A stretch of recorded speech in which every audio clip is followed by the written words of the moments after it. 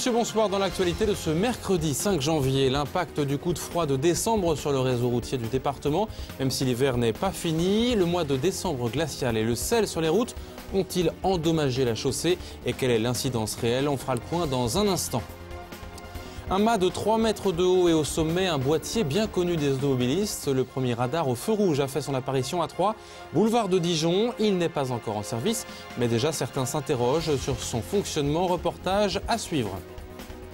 Le poumon vert de l'agglomération commence à tousser. Les voies vertes des Viennes entre Troyes et la rivière de Corse sont régulièrement endommagées par les actes de vandalisme. Le Grand 3 gestionnaire du site veut prendre le problème à bras le corps. Explication dans ce journal.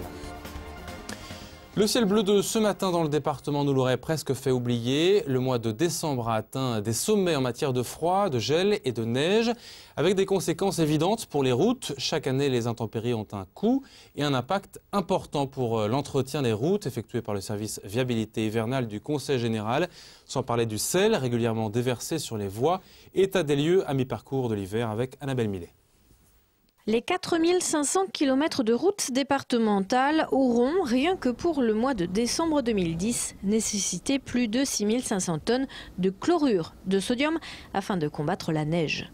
35 camions ont ainsi sillonné les routes auboises, 35 camions équipés de lames, de saleuses et de réservoirs de saumure. La saumure, c'est une eau euh, largement saturée en, sel et euh, l'aspersion de, la saumure favorise le, déclenchement de la, réaction du sel avec la neige, par exemple.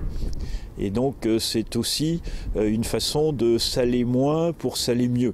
En utilisant la saumure, on est amené à obtenir le même résultat en répandant moins de sel sur le sol. Neige ou plus neige, le problème qui se pose aujourd'hui est celui des routes imbibées d'eau. Une eau qui, pour différentes raisons, ne parvient pas à s'infiltrer. Ça affecte un petit peu l'importance de, ces routes et que par voie de conséquence, en surface, euh, en surface, il y a des dégradations qui commencent à se produire, euh, avec parfois des départs de matériaux et, peut-être des, nids de poules qui commencent à se former.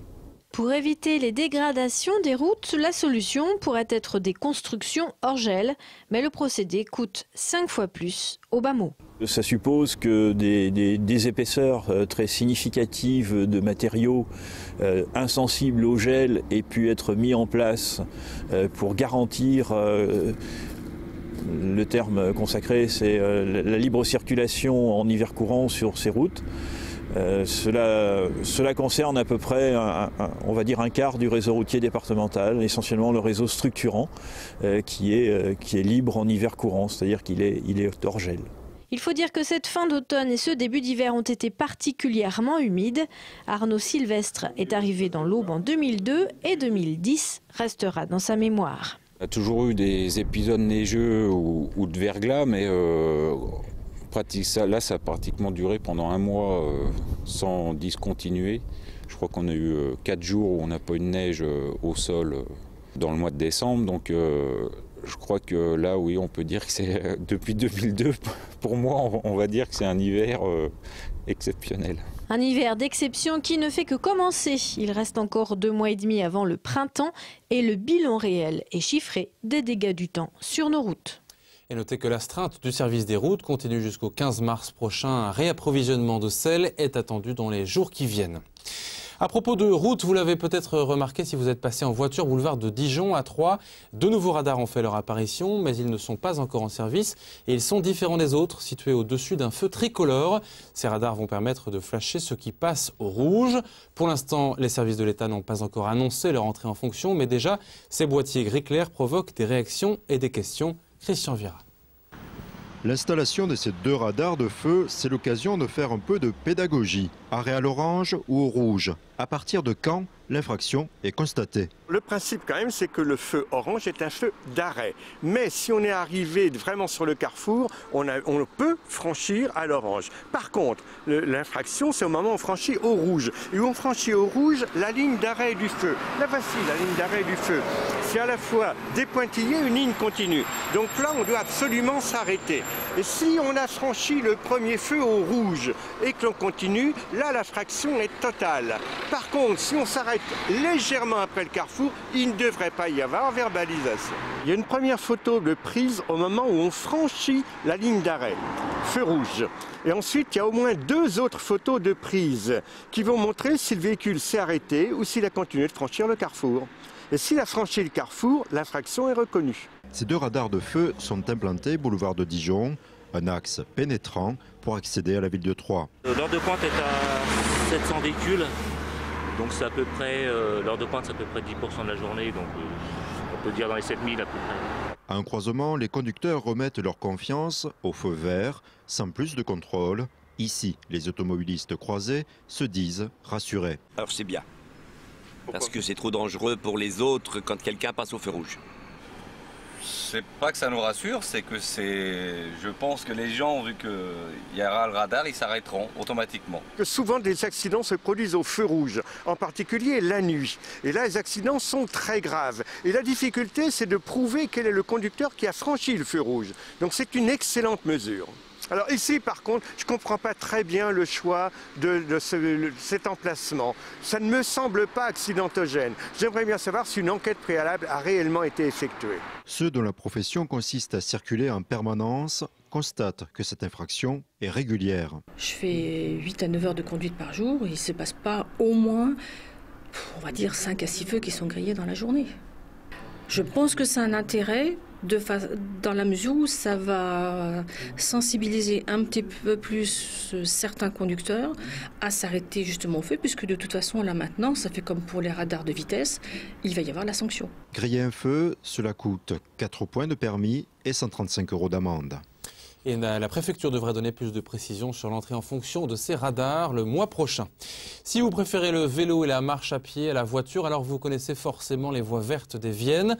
Entre Troyes et la rivière de Corps, ce chemin bordé d'arbres attire nombre de promeneurs depuis sa création en 2007, mais depuis quelque temps, il fait l'objet de dégradations. Géré et entretenu par le Grand Troyes, les infrastructures sont régulièrement cassées, euh, tout comme les outils pour réparer son vélo d'ailleurs.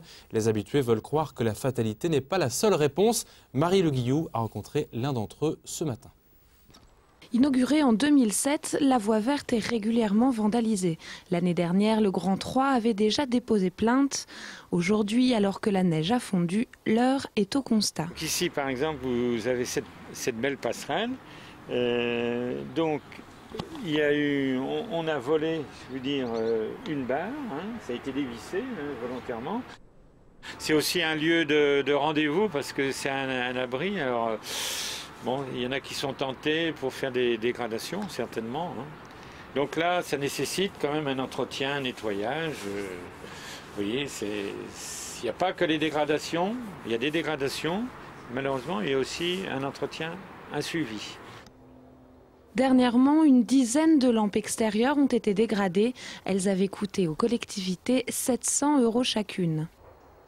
C'est quand même un site qui, qui plaît beaucoup et qui est très très fréquenté et c'est comme c'est vraiment euh, une ouverture sur la nature. Euh, on a du mal à s'expliquer, euh, c'est des gestes gratuits pour détruire, pour se, faire remarquer. Bon, on a, on a du mal à comprendre. On a quand même alerté et écrit aux, mairies de Saint-André de Sainte-Sévine pour que la police municipale euh, passe régulièrement. Bon, et moi je crois qu'il faudra arriver, euh, que le Grand 3 crée peut-être euh, un emploi ou deux, emploi vert, d'entretien, de surveillance. Si la communauté d'agglomération est pour l'instant restée muette, elle semble consciente des enjeux.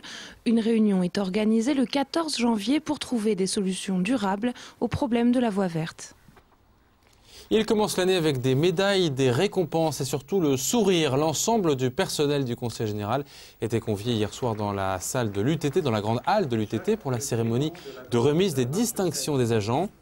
Au total, une trentaine de médailles ont été remises. Le président Adno et les élus présents ont insisté sur le travail notamment des agents du secteur social qui ont vu ainsi leur travail valorisé à l'occasion d'une grande réception. Les vœux du département au monde économique ont lieu ce soir au même endroit. On y reviendra bien sûr demain. À propos de récompenses, deux conseillers généraux ont reçu l'insigne de la Légion d'honneur, promotion du Nouvel An. Tout d'abord, Elisabeth Philippon, promue par le ministère du Travail et de l'Emploi, vice-présidente du Conseil général de l'Aube et maire adjointe à Troyes en charge des affaires sociales. Elle est désormais chevalier de la Légion d'honneur. Et puis Gérard Ancelin, euh, le maire de Nogent-sur-Seine depuis 22 ans, 1989, il a été distingué par le ministère de l'Intérieur chargé du développement économique au Conseil général. ils pourront tous les deux désormais euh, arborer la fameuse rosette au rebord de leur veste. On les félicite. Voilà, c'est la fin de cette édition. Merci à vous de l'avoir suivi. Demain, côté météo, c'est la pluie qui domine. Sandra Durupt nous donne le détail dans un instant. Demain, c'est Damien Ardois pour le journal. Passez une excellente soirée. À très bientôt.